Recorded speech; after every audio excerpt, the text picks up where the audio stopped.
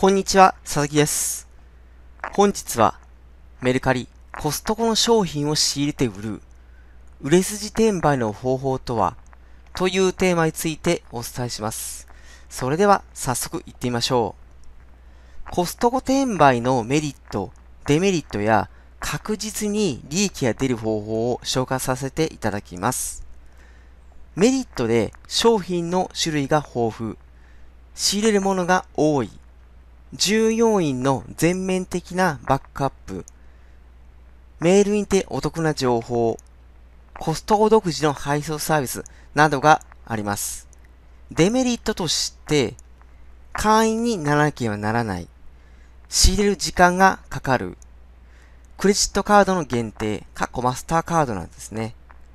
値下げ競争が激しい、などがあります。はい。で、コストコのですね、こちらですが、商品を購入して確実に利益を出すとしたら、コストコの商品を仕入れて、分配して売っている方が非常に多いかと思います。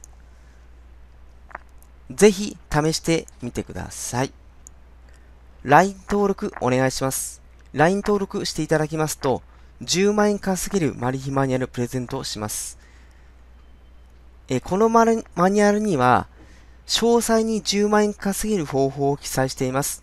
ぜひ楽しみにしてください。えまた、ニックネーム、またスタンプをお願いします。よろしくお願いします。本日は最後まで見ていただきありがとうございます。番組登録お待ちします。よろしくお願いします。ありがとうございました。